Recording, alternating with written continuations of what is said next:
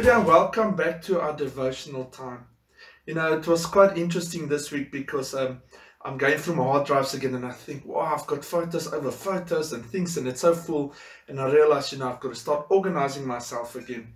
And uh, as I'm going through the old photos, you know, and I was in the event industry and then you see all the, the pictures of me and I'm with people there. And of course I look a bit, quite a bit younger and so on and I'm sending a lot of pictures to my friend too that's been always a lot of years with me in the industry that lives in Sanin. And I came to a realization, you know, when it comes to a walk with God as well, we can tend, we tend to, when we had the feeling of young and so on, and especially when he started preaching and that, you know, everything was vibrant. I think, you know, he smiled more, it was new, it was great, you know, God's everything.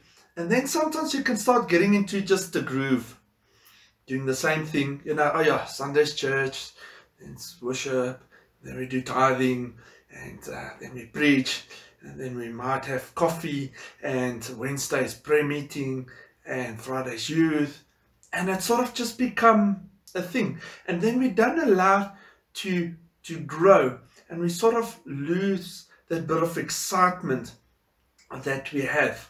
Um, and you know, we've got to come back to the joy and love in what we do. Um, and I just want to read in John 15, let's take it from verse 11. I've told you, so this you will be filled with my joy. Yes, your joy will overflow. Verse 12. I command you to love each other in the same way that I love you.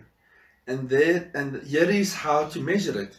The greatest love is shown when people lay down their lives for their friends. You are my friend if you obey me. I no longer call you servants because the master doesn't confine in his servants. No, you are my friends, since I have told you everything the Father told me. You didn't choose me, I chose you. I appointed you to go and produce fruit that will last, so that the Father will give you whatever you ask uh, for using my name. And then he just adds on, I command you to love each other. Isn't it great to know that as pastors or leaders or so, that, you know, God chose you. And when he chose you, he called you his friend. You know, as friends, we try to uplift Jesus. We try to show his real power, the miracles he, do, he does in our lives. And so, and we mustn't allow that we sort of just become, ah, just doing my thing, just doing my little prayer on Sunday there. But remember when we were, or you know, when you had the you feeling for God um, and doing just the things for Him and the joy and the life we had in that. And I think maybe as well when we sit, you know, go through things and remember the joys you have um, for working for God. And when you preach and you you reach somebody's heart to say, "Thank you, Lord," you know that you know that I was able through Jesus to reach into his heart and they accepted Jesus. And maybe it's time to look back into those things and see, okay, so where where have we maybe, if you have, sort of just become, I'm just a pastor and I do my thing, and start going back in planning, what can I do for Jesus? You know, make the time and so on.